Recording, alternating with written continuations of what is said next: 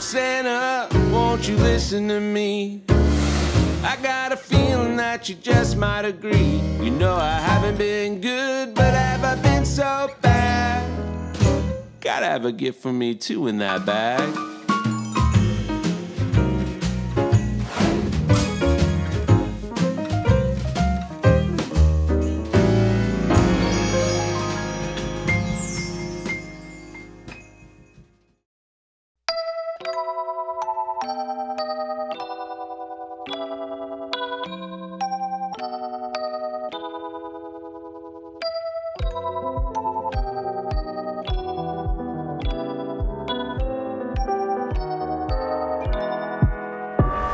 먼 미래의 날씨 같아 예측 불가해.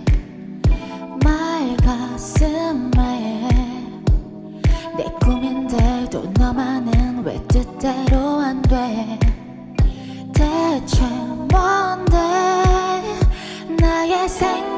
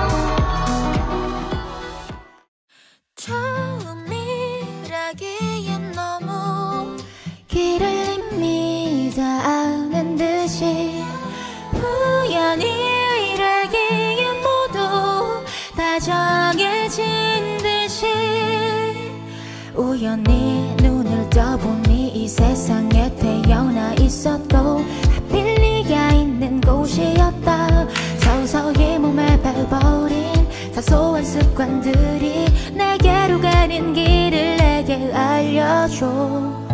처음이라기엔 너무 길을 이미 다. 아는 듯이 우연이라기엔 모두 다 정해진 듯이 고통의 사랑도 보통의 이별도 You can make it happen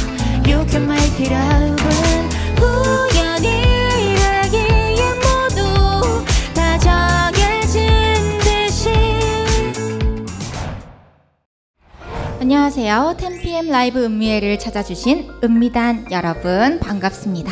저는 크리스마스 특집의 pairing 마스터 헤이즈입니다. 안녕하세요. 10pm 라이브 음미회는요, 다양한 사람들이 모여서 또 좋아하는 음악과 투썸 플레이스의 달콤한 디저트를 pairing하고 특별한 테마에 대해서 함께 음미해 보는 시간으로 진행됩니다. 지금부터 본격적으로 시작해 볼까요? 이번 10pm 라이브 음미회의 테마는 My Winter Favorite입니다. 여러분들의 겨울 최애가 무엇인지 얘기를 또 나눠보고 싶은데요. 저는 오늘 이 공간에 와보니까 이렇게 하얗게 눈 내리는 크리스마스에 달콤한 케이크 한 입 먹으면서 따뜻한 방 안에서 시간을 보내는 게 어, 정말 행복할 것 같다라는 그런 생각을 했어요. 여러분의 취향 가득한 겨울을 만나는 행복, My Winter Favorite이라는 테마와 함께 투썸의 디저트를 맛있게 그리고 즐겁게 음미하는 시간을 가져보려고 합니다. 오프닝에 들려드렸던 노래는 잘 들으셨나요?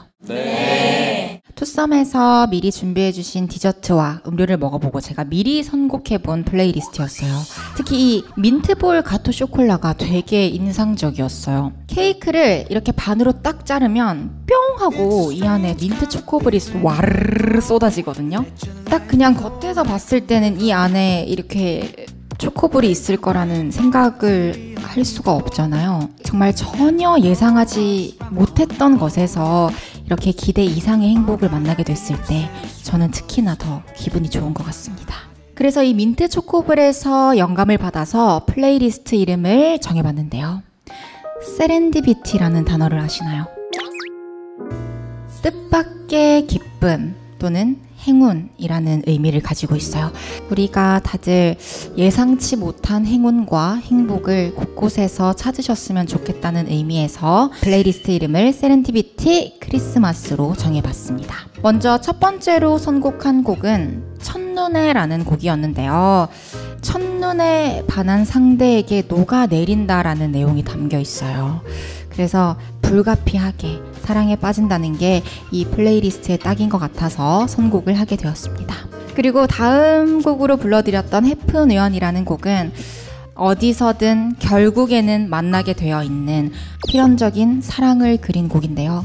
우연히 반복되고 또 잦아지다 보면 저는 운명이라고 생각을 해요. 그런 예기치 않은 serendipity한 사랑, 우리도 꼭 만나자는 의미에서 골라봤습니다. 준비된 디저트를 직접 맛볼 차례인데요. 제가 선곡한 노래들과 어떻게 어울리는지 한번 맛을 보시면 좋을 것 같습니다.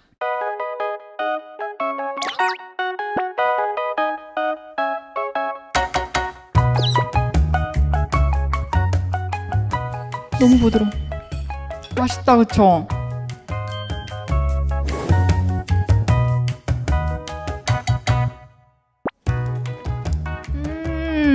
좋아. 고소해. 숨겨진 민트 초코볼을 찾아보세요. 먼저 찾으시는 분들께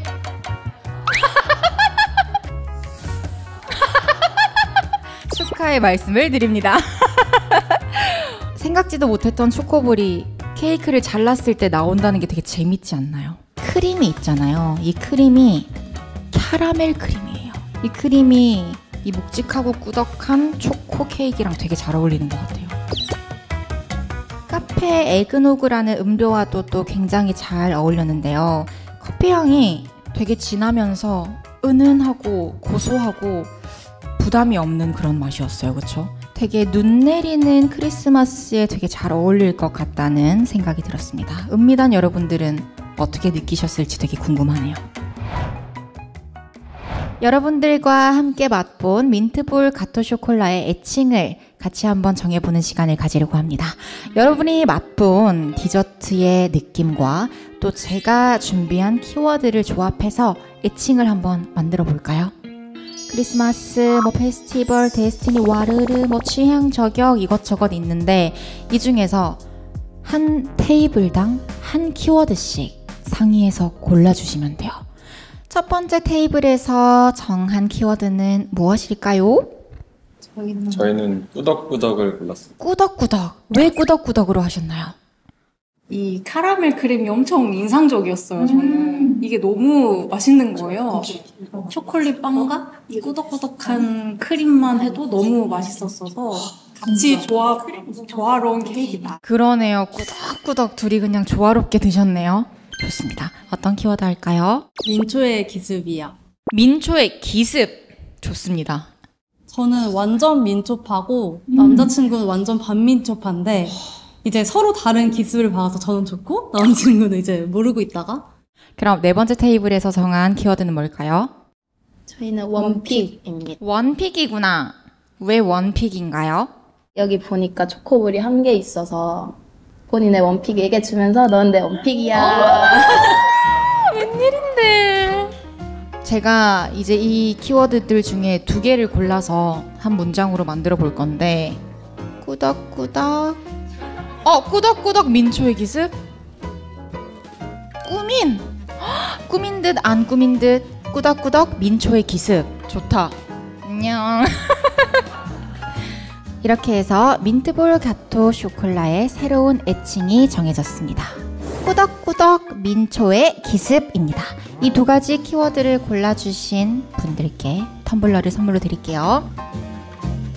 예기치 못하게 찾아올 행복한 크리스마스를 소망하면서 세렌티피티 크리스마스! 핑클 선배님들의 화이트라는 곡을 크리스마스 시즌이 되면 항상 찾아 듣곤 합니다. 보통 캐롤 하면은 팝송 떠올리시고 산타 텔미 이런 노래를 떠올리시지만 저도 그런 노래를 듣는 것도 너무 좋아하지만 꼭 향수처럼 찾아 듣게 되는 음악이 핑클의 White입니다. 헤이즈 생의 첫 번째 단독 콘서트를 했었는데 또 크리스마스에 팬분들과 함께 했던 어, 기억이 되게 따뜻하게 남아 있습니다. 올해 크리스마스도 Merry Christmas! 10pm 라이브 음미회 My Winter Favorite이라는 테마로 여러분들과 함께 즐거운 시간을 보내고 있는데요. 투썸의 두 번째 pairing 메뉴를 맛볼 시간입니다. Winter Berry 무스와 Winter Favorite 뱅쇼. 저는 이 메뉴들을 딱 보자마자 크리스마스 무드가 듬뿍 담긴 그런 메뉴라고 생각을 했는데요. 루돌프 모양인 보이시죠? 이 강렬한 red 컬러도 그렇고 크리스마스에 선물하기도 좋고 또 이렇게 사진 찍어서 자랑하기도 좋은 그런 비주얼을 가지고 있는 것 같습니다. 이 Winter Favorite 뱅쇼 역시 크리스마스가 되면 생각나는 메뉴가 아닌가 그런 생각이 드는데요. 여러분들은 크리스마스 파티에 가보신 적 있으신가요? 방구석 파티요. 방구석 파티 완전 제 스타일이에요. 오늘 컨셉과도 또 잘 맞을 수 있어요. 여기 커플분들은 가보지 않았어? 클럽. 클럽 좋겠다. 보통은 크리스마스 파티라고 하면은 사람들도 많고 시끌벅적한 파티가 떠오르는데 뭔가 혼자서 또 차분하게 나를 되돌아보면서 나의 vibe를 즐기는 그런 크리스마스도 이색적일 것 같다는 생각이 듭니다. 그래서 두 번째 플레이리스트 이름을 bitter sweet 크리스마스 파티로 정해봤습니다. 우선 여러분들은 이 메뉴들을 음미해 보신 다음에 또 다시 주제에 대해서 얘기 나눠보도록 할게요.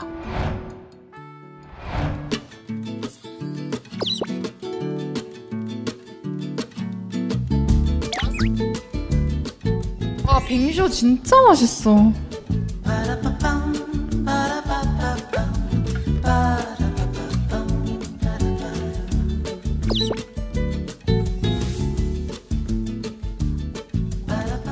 진짜 맛있어.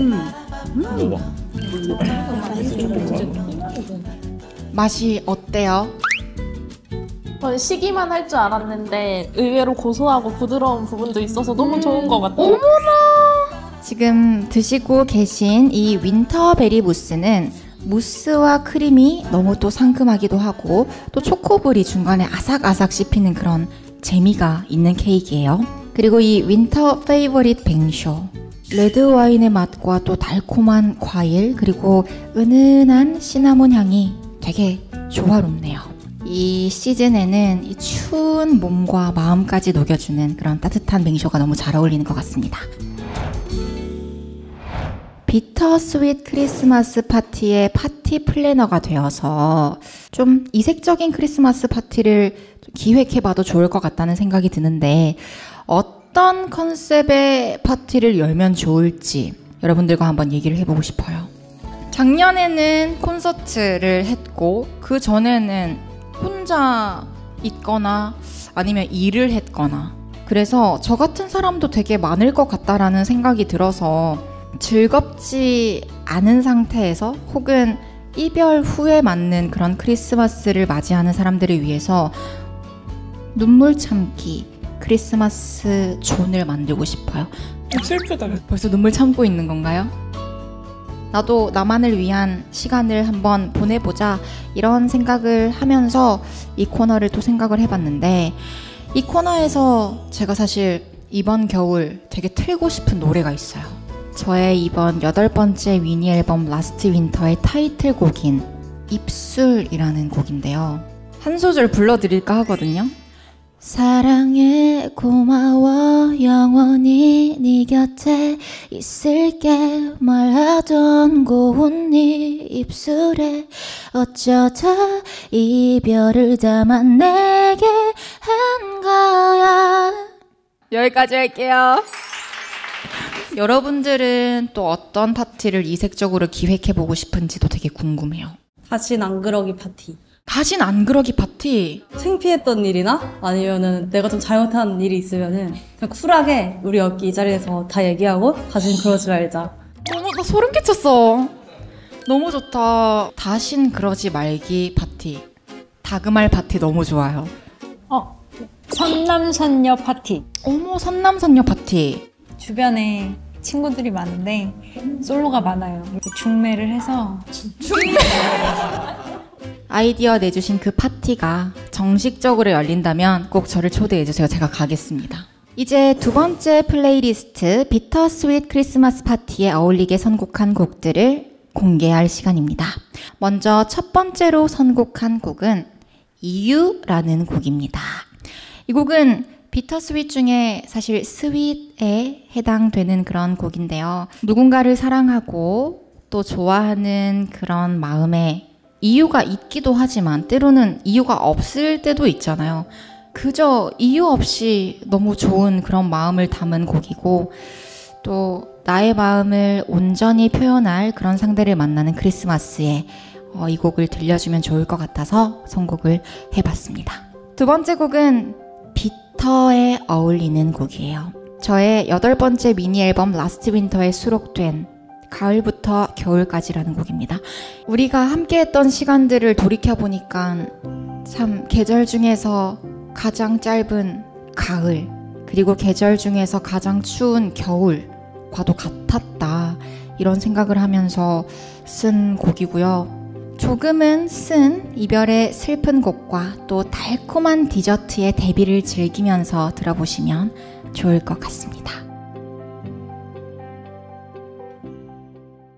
오늘 테마가 My Winter Favorite이었는데요. 이번 크리스마스는 꼭 화려하지 않더라도 너무 특별하지 않더라도 여러분들만의 favorite한 것들로 가득 채운 크리스마스가 되었으면 좋겠습니다.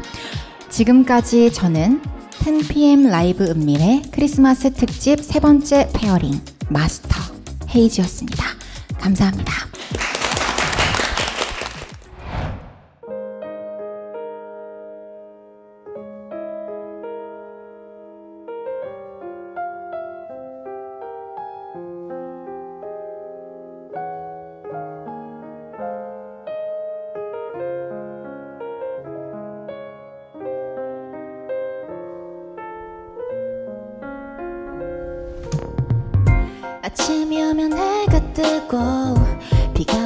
우산을 쓰죠.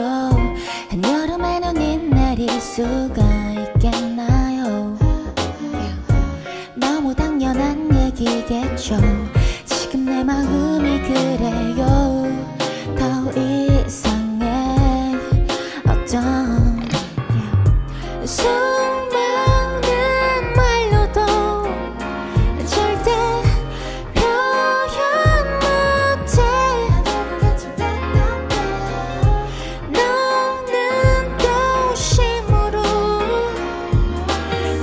그 입술이 귀여워 더